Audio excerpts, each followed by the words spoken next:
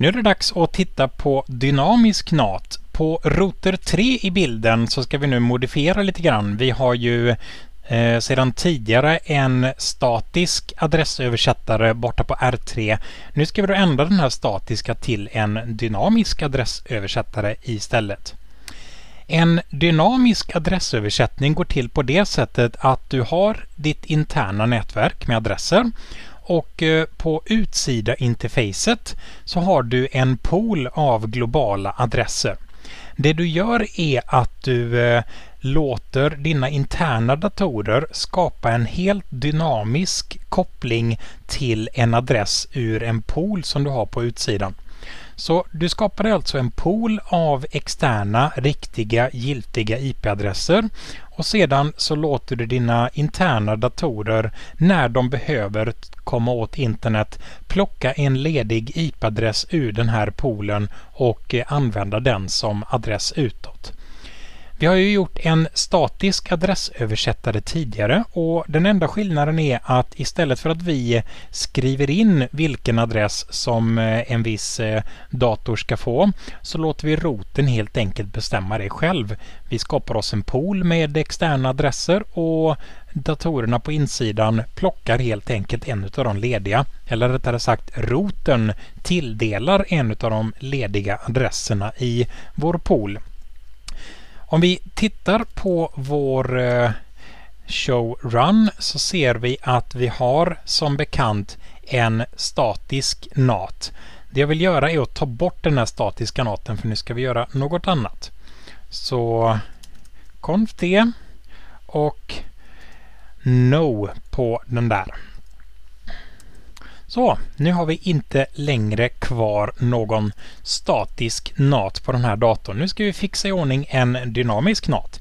Det första vi behöver göra är en pool som NAT kan plocka sina adresser ifrån. IP-NAT i vanlig ordning. Pool och så ger vi vår pool ett namn. MyPool blir ett bra namn. Och därefter så berättar vi den första IP-adressen i poolen. Låt oss säga 10.0 1.20 och sista adressen i spannet 10.01.10.0 Det här var väldigt svårt att skriva. Så där. En pool skapar vi här. Någonstans eh, 10.01.20 till 10.01.100. Där är vår pool av adresser. Därefter en nätmask på det där så har vi då gjort oss en pool av adresser. Det var den ena grejen vi skulle göra. Nästa sak att göra blir naturligtvis att skapa en lista där vi kan fånga upp trafiken som skall adressöversättas.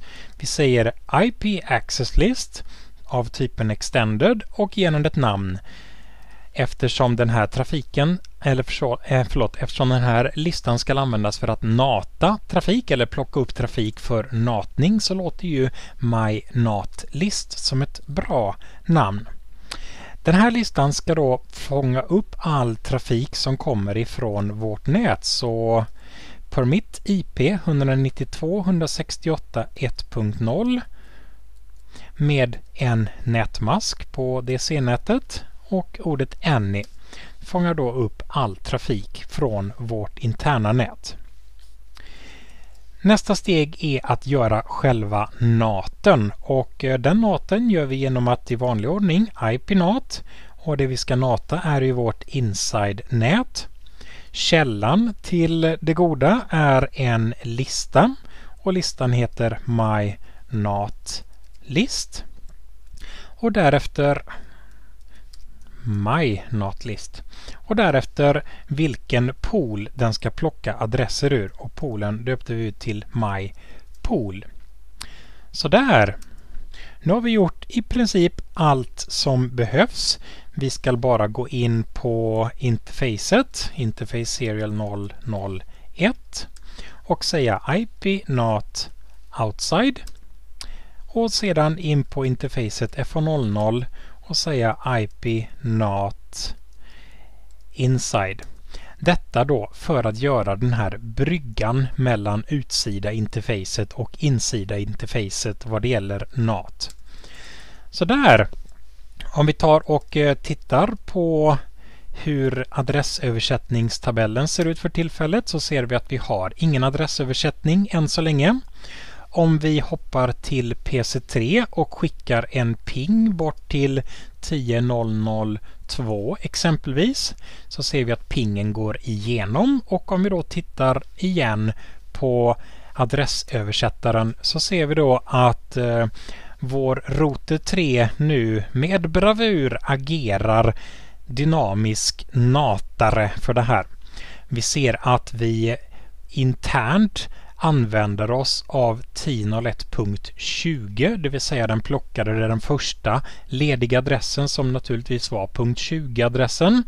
Och lokalt så använder vi oss av 192.168.1.10. Det är ju som bekant IP-adressen som vår PC3 har.